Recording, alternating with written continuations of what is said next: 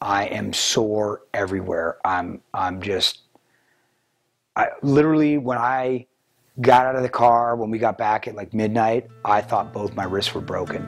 I mean, I, I it was bad. It was bad.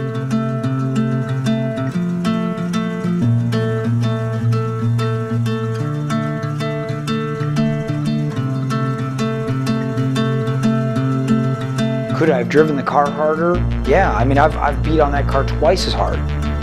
So to have it break on me when I'm not even beating on it that hard was, you know, I'm literally going, what the, you know, it, it's just, we've never had that kind of a problem, ever.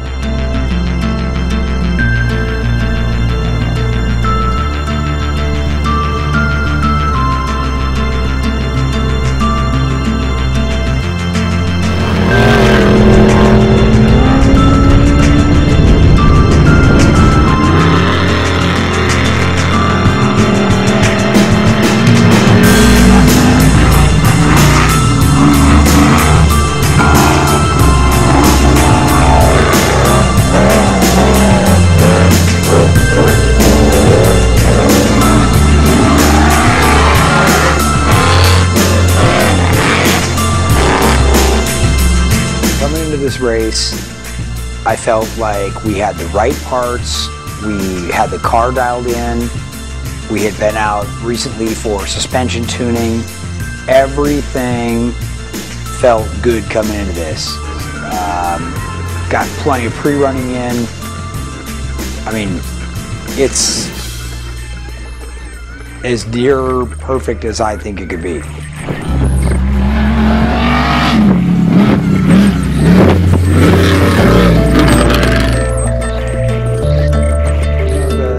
First two laps, first lap, piece cake. Second lap, you know, we came into the main pit, felt great.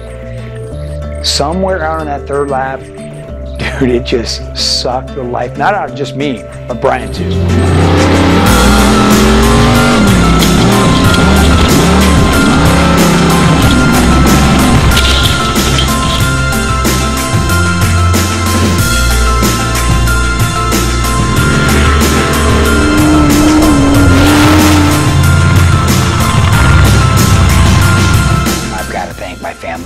Wife especially, for supporting me and, and for lack of a better description, allowing me to do this because it's it's a lot.